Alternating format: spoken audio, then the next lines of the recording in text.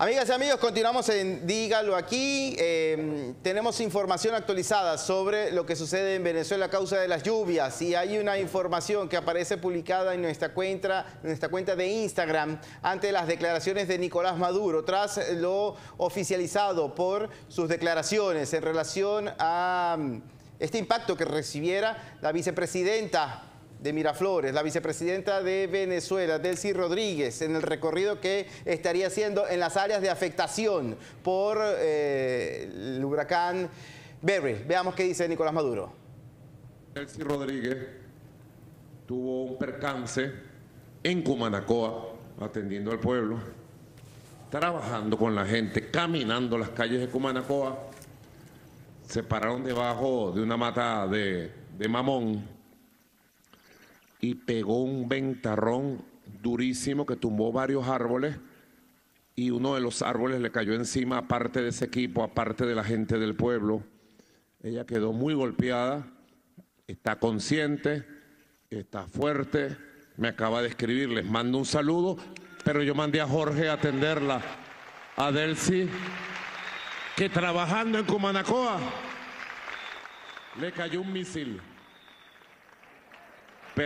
Bueno, seguiremos monitoreando esta información. Mientras tanto, eh, seguimos adelante con el análisis, sobre todo de esta cuenta regresiva que ocurre en Venezuela ante la celebración de la fiesta electoral, en la que todos eh, quienes Añoramos abrazar la democracia, queremos participar de alguna manera. Con nosotros, José Amalio Graterol, él es secretario político de 20 Venezuela en Estados Unidos. José Amalio, por favor, muchísimas gracias por estar con nosotros. La actualización de cómo va esta campaña, porque la campaña yo lo sigo reiterando, y perdone que hable eh, mi nombre, porque no me gusta hacerlo, pero siempre he definido lo que se está haciendo en Venezuela, no por los políticos, sino por los venezolanos, la campaña admirable. Bueno, pero no es triunfalismo, para nada, pero es la realidad.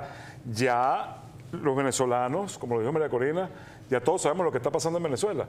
Y es que ya los venezolanos derrotamos el régimen criminal de Nicolás Maduro. Ahora lo que nos queda es enfocarnos en votar, cuidar el voto, cada quien cuidar el voto y cobrar la victoria estruendosa que vamos a tener el 28 de julio los venezolanos, porque va a ser la victoria de Venezuela. Ya en Venezuela no hay polarización.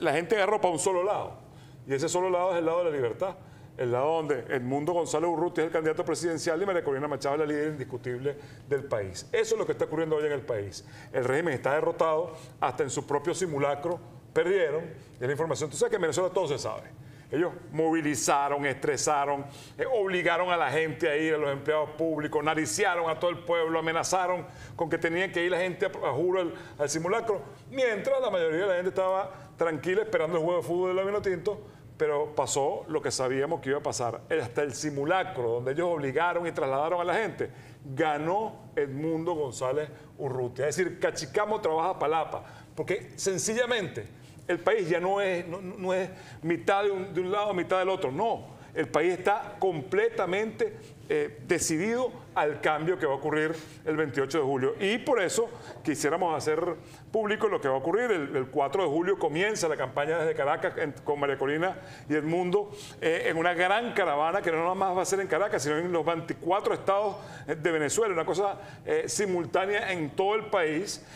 luego el 6 de julio Barinas, el 10 es en Anzuategui, el 13 es en eh, en Carabobo, el 14 eh, son los jóvenes en, todo el país, los jóvenes por Venezuela, el 17 es en Portuguesa, el 20 en el estado Monagas, el 21 un gran momento de fe, y por eso se llama Mano Tengo Fe, todo el país eh, espiritualmente en favor de la campaña, luego el 23 en el Zulia y el 25 el gran cierre nacional desde Caracas, pero también en todos los puntos del país para esperar ese gran 28 de julio, que será el día de la victoria de la libertad de Venezuela, y el día donde se tiene que respetar la voluntad del pueblo venezolano, porque así lo va a, asumir y, llevar a cabo el, pueblo venezolano. Lo que nosotros estamos viviendo en Venezuela no es una elección, lo he dicho muchas veces, no es una elección convencional es que hay en Venezuela hoy un genuino